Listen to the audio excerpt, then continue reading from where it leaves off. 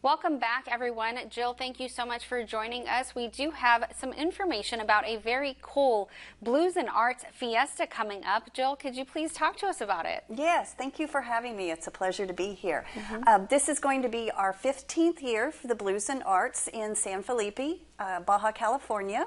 All of the proceeds go to back towards towards the town, which is really good since we've had Hurricane Kay. So we're really excited to be able to do that for the town.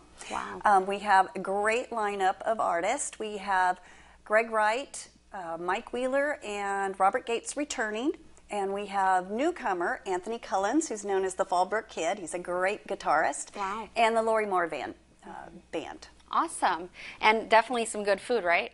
Oh, yes, lots and lots of good food. We're going to have a full bar. It's going to be a lovely day on the lawn at uh, in the Sea of Cortez at the El Dorado Ranch uh, golf course. Mm-hmm. Definitely a beautiful place. Now, I'm hearing blues and arts, so what kind of arts can we expect? Uh, we have uh, ceramics, paintings, we have jewelry, custom made, handmade jewelry.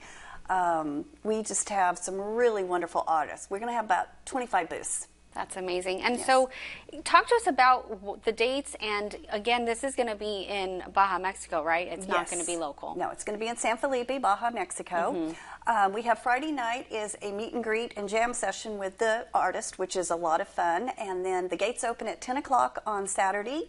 Show starts at 11, and Perfect. it goes through the day till about 6. October 14th and 15th. Awesome. Very exciting. Yes. And tickets are available? Tickets are available. Well, thank you so much for joining us for this. Take a look at this event. It sounds like it's going to be very exciting. You can always go to our website, kyma.com. We will have all of those details for you if you want to find out how you can purchase tickets.